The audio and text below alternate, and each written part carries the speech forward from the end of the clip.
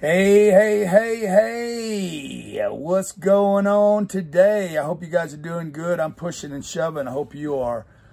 Uh, your boy, Uncle G, in the house, coming to you to wake you up, shake you up. Let's roll. Let's do something big this week. What you say? Hit me down below. Okay, this is going to be about six or seven minutes. Just want to give you some things I'm learning. I'm out here in uh, Crazy Land.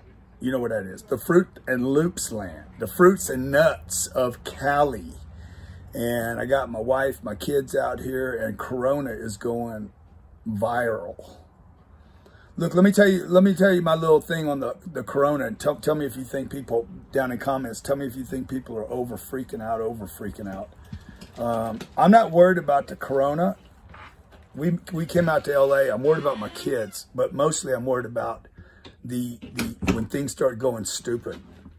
Meaning not the virus itself, but the, the, the, the, how you like the hat, by the way, huh? I stole this from one of these Hollywood actresses. And uh, what I'm worried about is people robbing water and, and, and, and uh, you know, take dumping out the stores, water and uh, uh food and, and, you know, everything. Like, like I'm seeing in the stores. We passed by Walmart this morning. It was like they were raping the place. And then, uh, then I went to uh, I was over at uh, Albertson over on Santa Monica. Literally, I've never seen the shelves that empty. People grabbing vegetables, uh, produce for the weekend, like like they're never going to be able to get back in. So that's the thing I worry about. Uh, the airlines, you guys need to leave the stock market thing alone right now, okay? It's going to be like up and down. It could drop three or 4,000 points from here if this thing spreads. That's what worries me more than the virus is the, the economic impact. The airlines are predicted to lose $100 billion, $100 billion this quarter. Uh, I had a friend flying from Tampa to Miami. Flights were half full. Another friend was going to uh, flying into Denver. Flights were one third full. Um, some of my employees that are out on the road right now saying hotels are empty. Um, like it's the economic impact of this. I'm not trying to scare anybody. This is why I tell you guys all the time. You need 10 extra money, 10 extra savings. You need to be fucking prepared right now. Okay. It's always something. And good things, I'm sorry, bad things, bad things happen to good people every single day because they're not prepared. So this is what I learned from the 2008 collapse good family, good people, working our asses off, doing the same shit you do every day. And I fucked up because uh, I didn't have enough reserves. I didn't have enough money. I didn't have big enough cushion. I didn't have enough real estate. I didn't have enough cash flow.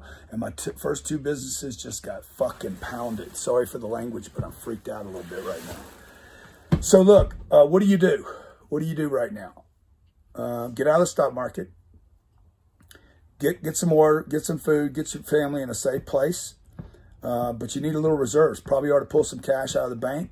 Sit down with two or three thousand bucks in cash in case you got to go someplace. In case who knows? What if something? What if something like? What if the internet went down? Banks couldn't couldn't do do do business and credit cards weren't good anymore. Prepare yourself. Okay, this thing might be nothing, uh, which I think is probably going to, you know, as soon as the weather gets warm, it'll die out. What you think about the hat, though?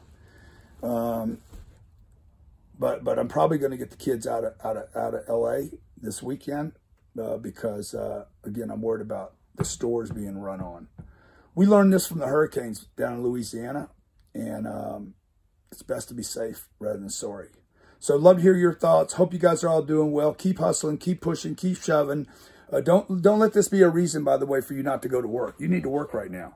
Other people don't go to work. You go to work. You go to work and you keep working. You keep busting. You keep shoving. You keep pushing. You keep going. Okay. God bless you guys. Be great. 10x everything.